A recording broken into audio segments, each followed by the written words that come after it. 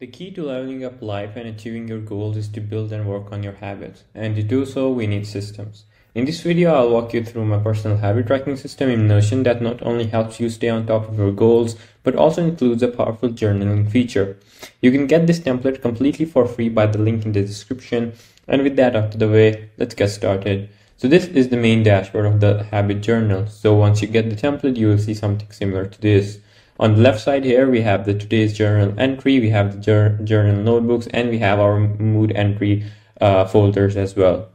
On the right side, this is our today entry. So you can see the journal entry here and the habit entries right there. You can also toggle it weekly and daily. Then underneath that, we have a progress chart. So this is the new Notion charts feature. I'll show you how to create one similar to this. Then we have the calendar view uh, in weekly and monthly toggles right here. Then we have the monthly report. So all of the yours, uh, all of your habits are shown here as months. And then we have the detailed reports showing uh, your weekly and monthly progress based on your habits. Now, so now let's head over and create a new entry for our habit tracker. So every day that you come here inside the Notion Habit Journal, you'll just have to click on this new today entry this new button right here. So just clicking on it will add a new entry with the with today's date in it. So let's go ahead and click this new button right here. It will automatically add today's date and you will all, you will see all of your habits right here. And then you can also see the progress and this is a template for your journal as well. So now let's go back. Now as you can see we have already filled up this um, habit entry for today and we also have a journal entry right here we can also see the progress chart and now let's head over and check these uh, some of our habits. Checking some of our habits uh, auto updates the chart right here so let's go ahead and update uh, check all of them. You can see the chart automatically updates. You can also see that we are also checking the habits on the journal page as well. So these are both connected into one page. So if we go ahead and open the journal page we can see that we can connect uh, our journal entry to any specific journal. This is the journal notebook. So as you can see in the main dashboard on the left side here, we have some journal notebook. Now connecting this new entry to our journal notebooks is super simple. Just head over to your journal property, connect to a notebook, and then you can also log moods. So uh, similar to the journal uh, connecting journal notebooks, we will also go ahead and connect our moods. So here you can also go ahead and add multiple moods if you want. So you can add happy, frustrated, and thrilled, and uh, so on. So this will connect this journal entry to the moods tracking as well. So if we go back to our moods, you can see that we have two entries as happy, three entries, uh, two entries as thrills and thrilled, and two entries as energetic. Now we have to connect the journal entry to our monthly report. So let's go ahead into the journal page here. You can see we have a month's property right here. So what you need to do, similar to the journal, connecting journal notebooks and similar to connecting the moods, we'll just have to click on this property right here and then connect it to any current month that we have. You'll have multiple months here and the one that is uh, the current month will show up in green right here. If you want to add a new month, you can just go back to the main dashboard and add a new month from here, or you can go ahead and create a new month from that particular property as well. So if you are in August, for example, you can create a new month from here. But be sure to keep the month uh, name first and then the year. So that's how Notion knows that this is current month or not. So uh, let's go ahead and add August, for example. Um, so now we have created a new month as August. As you can see right here, we have added new month as August, but we are not in um, that particular month. So I'll just go ahead and unlink it and connect it to September.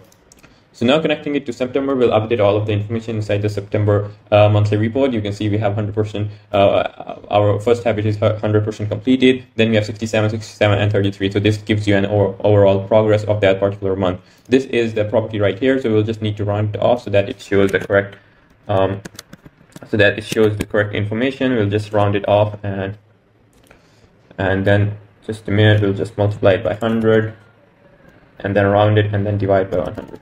So now it will show the correct information here. So now it shows 67% is our progress for September. Super easy, super minimal uh, view and much easier to use compared to other habit trackers. So only thing that you need to do is add today today's entry and then you can also use mark all done today as well. So if we go ahead and uncheck our habits for today, checking this checks all of your today's habits and it's super easy to customize So now let me show you how to customize the habits to your needs. So by default, as you can see, we have six habits and these are uh, the defaults that I have put in. You can go ahead and customize them by editing their name or you can go ahead and add a new one by simply duplicating the uh, default habit. And if you want to remove a certain habit, you can just simply go ahead and delete it, right? So to add a new habit, you just duplicate it and rename it. Let's go ahead and re rename it as new habit. And what you need to do, as you can see currently, checking it does not have any effect on the progress bar.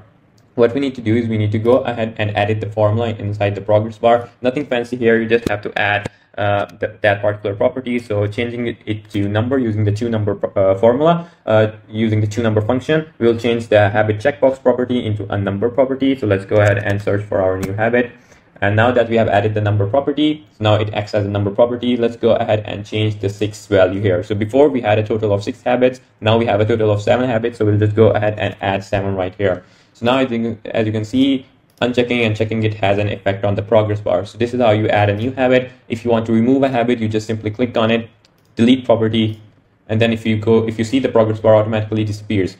This is because there is a, a mistake in the formula. So if you click on the formula here, you can see that we cannot find the new habit property in this row. So what you need to do is just remove remove this uh, property here and change the total number of habits, uh, which was 7, 4 to 6.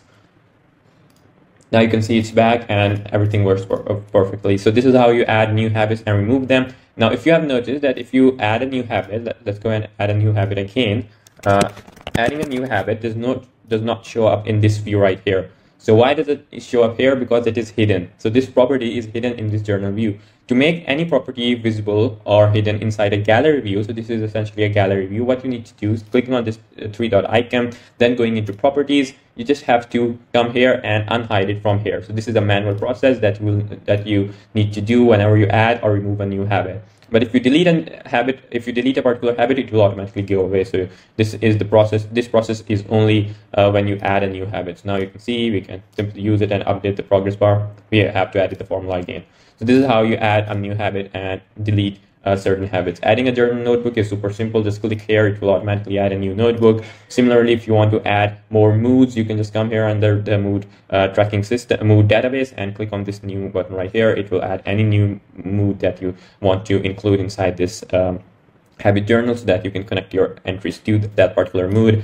Now, one thing you will have to customize when you add a new habit is uh, the monthly reports. So this is, uh, as you can see, we just added a new habit right here, and it works perfectly with this progress bar, right? But it does not have any effect on this particular September uh, monthly report. So what we'll need to do is we'll need to go into the reports, and what we need to do is we need to add a particular habit. So if you see here, this is a formula, formula property that is taking the information from our habit trackers. This is a separate database just go ahead and click on any any like any um, uh, habit tracking property from here just duplicate it and then go ahead and change this uh, previous habit and add your new habit so let's go and search for our new habit and change the previous habit and add the new habit right so and just change this text as well so this will uh, update the text and it will also update the progress of your habit. So 33% is the new habit completion rate. If you go ahead and uncheck it, it should be zero. You can see, uh, yeah, it's still hidden. So we'll have to unhide it obviously. So let's go ahead and unhide it. You can see 0% is our new habit completion rate. If we check it, it will be 14, uh, 33% based on the month monthly entries. So this is the average view of the month. So that's pretty much it. Uh, inside the details report, you will see the progress by each week. So this is the total pro progress by each week, and then you have e each individual entry, and then you have the monthly uh, overview of the progress as well. Uh, this is super simple. I'll be creating a dedicated video on how to actually create this template, but if you want to save yourself time, you can grab this template for free from the link in the description. And that's it. Hope you like it. Cheers.